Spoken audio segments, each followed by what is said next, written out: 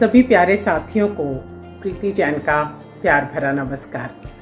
इतने लंबे अंतराल के बाद आप सभी से मिलने पर मेरे मन में कुछ कुछ हो रहा है, लेकिन वैसा नहीं जैसा आप सोच रहे हैं। थोड़ा सा डर है थोड़ी सी एक्साइटमेंट है, क्योंकि कुछ कुछ का मतलब है, दिल अभी भी बच्चा है, और हमारी आज की कहानी का नाम भी यही है, दिल तो बच्चा है जी। गुलजार साहब ने क्या खूब कहा है? ज़िंदगी की दौड़ में, ज़िंदगी की दौड़ में तजुर्बा कच्चा ही रह गया। हम सीख ना पाए फरेब और दिल बच्चा ही रह गया। बचपन में जहाँ चाहा हंस लेते थे, जहाँ चाहा रो लेते थे, पर अब मुकाम को तमीज़ चाहिए और आंसुओं को तन्हाई। चलो, मुस्कुराने की वजह ढूंढते हैं। ज़िंदगी तुम हमें ढूंढो, हम तुम्हें ढूंढते हैं। साथियों, सच में, उम्र का दिल से कोई लेना देना नहीं होता। कहते हैं, दिल बच्चा है। दिल सच में बच्चा ही होता है। लोग कहते हैं, पचास के बाद बस ज़िंदगी यूँ ही चलती है। पर मुझे ऐसा लगता है, ज़िंदगी असल में शुरू ही पचास के बाद होती है। किसी के लिए नहीं, बस अपने लिए जीने का दौर शुरू हो जाता है। जिम्मेदारियाँ लगभग ख़त्म सी होने लगती हैं। और आप अपने लिए, अपने मनचाहे तरीके से, मनचाहे अंदाज में कुछ भी कर सकते हैं, सिर्फ़ अपने लिए जी सकते हैं। कभी कभी ऐसा लगने लगता है, मानो ज़िंदगी फिर से मुस्कुराने की जिद पकड़ के बैठ गई है।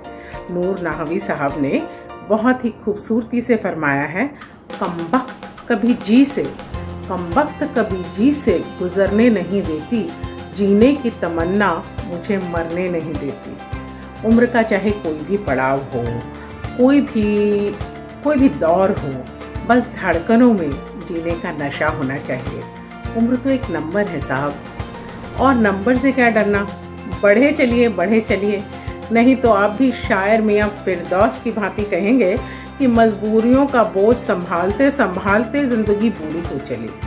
पर इससे पहले कि आपकी उम्र किसी के आस में और किसी पर विश्वास करते करते खत्म हो जाए तो जी डालिए जी भर के अपनी ज़िंदगी को। अच्छी लगने लगेगी। आज आपको मिलाते हैं, दिखाते हैं ज़िंदगी जीने का एक मस्त अंदाज। क्योंकि ज़िंदगी दोबारा तो मिलने वाली है नहीं। लॉकडाउन में एक वीडियो देखा था। हो सकता है आप सबने भी देखा हो। पर अगर देखा भी है तो भी आइए एक नए नज़रिए के साथ उसको दिखाते हैं। मिलते हैं रेनू चोपड़ा जी से, जो एक आईटी कंपनी में काम करती हैं। दिल से देखिएगा, ज़िंदगी के कायल हो जाएँगे, क्योंकि दिल है छोटा सा और छोटी सी है आशा। आइए इंजॉय करते हैं।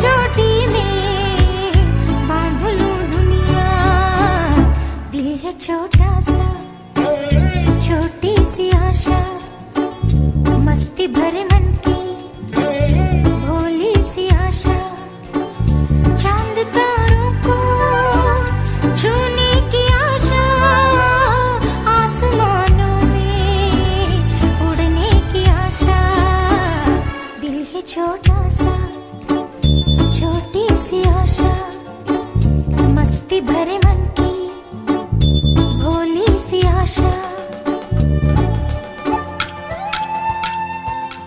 तो कैसा लगा आपको रेनू जी का ये परफॉर्मेंस सच में, क्या ग्रेस है, क्या अंदाज? कौन कम वक्त कहता है कि उम्र हो चली है? साथियों, अभी तो बस शाम ही ढली है और शाम होते ही जीने का एक नया अंदाज हमें जोशो खरोश से भर देता है। पिक्चर अभी बाकी है। देखते हैं आगे क्या क्या है। बचपन में पढ़ा था कि सीखने की कोई उम्र नहीं होती, लेकिन इसे पूरा कर दिखाया केरल में रहने वाली कात्यानी अम्मा ने। अम्मा उन चालीस हज़ार चार सौ चालीस लोगों में से एक हैं जिन्होंने पिछले पाँच अगस्त को लिटरेसी एग्जामिनेशन में हिस्सा लिया था। ये examination Kerala state literacy mission की तरफ़ से अपने स्टेट को 100 परसेंट लिटरेट बनाने के लिए किया गया था। दिलचस्प बात यह है कि कनाडा की एक ऑर्गेनाइजेशन है कॉमनवेल्थ लर्निंग उसने कार्त्यानी अम्मा को अपना गुडविल एम्बेसडर बना लिया है। इस परीक्षा में 47,000 सीनियर्स यानी बुज़ुर्ग शामिल हुए थे। अभी हाल ही में इसका रिज़ल्ट आया। और अम्मा ने 97 इयर्स की एज में फोर्थ क्लास का एग्ज़ाम पास करके दिखा दिया और ये साबित कर दिया कि पढ़ने लिखने की कोई उम्र नहीं होती। जी हाँ उन्होंने परीक्षा में 100 में से अट्ठानवे, यानी 100 में से 98 मार्क्स पाए। और पता है उन्होंने उसके बाद क्या किया? कोई जश्न नहीं मनाया। जल्दी अपनी टीचर के पास और जाकर पूछा कि उन्हें ये दो नंबर क्यों कटे उनके? है ना, मज़े की बात। अम्मा को पढ़ने लिखने में बहुत रुचि है। परीक्षा के बाद वो सोशल मीडिया में बहुत बहुत ही मशहूर हो गई।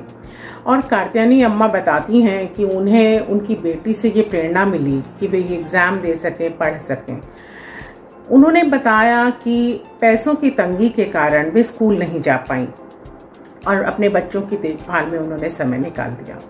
लेकिन जब उन्होंने देखा कि उनकी 60 साल की बेटी ने दसवीं का एग्ज़ाम दिया तो उन्होंने ठान लिया कि कोई भी उम्र मोहताज नहीं है शिक्षा की। और उन्होंने अपने हौसले के बल पर सभी को कहा है, मैं दसवीं का एग्ज़ाम तब पास करूँगी जब सौ साल की हो जाऊँगी। है ना, कमाल का जज्बा। कुछ लोग बचपन से ही बड़े धीर गंभीर और समाज हित के बारे में सोचने लगते हैं। याद है ना वो लड़की ग्रेटा जिसने यूनाइटेड नेशंस क्लाइमेट समिट में बोलकर पूरी दुनिया को हैरान कर दिया था, तहलका मचा दिया था। सच में, उम्र की कोई सीमा नहीं। एक प्यारी और लड़की है, उसका नाम है भारती। उससे मिलवाऊँगी आपको। और उससे मिलने के लिए आपको लेके चलती हूँ कुसुम्भरा गाँव में, जो कि पटना से सतासी किलोमीटर दूर बिहार में बसा है। हैरानी होती है ये जानकर कि आज की दुनिया में, आज के समय में भी कुछ ऐसे गाँव हैं जहाँ शिक्षा नहीं है। लेकिन इस 12 साल की बच्ची के मन में जाने क्या समाई कि उसने अपने से छोटे बच्चों को इंग्लिश, हिंदी और मैथ्स पढ़ाना शुरू कर दिया। जानते हैं भारती है कौन? भारती को रेलवे स्टेशन पर उसके माता पिता किसी मजबूरी की वजह से छोड़ के चले गए। और वहीं पर रहने वाले एक रामपति नाम के किसान ने उसे गोद ले लिया।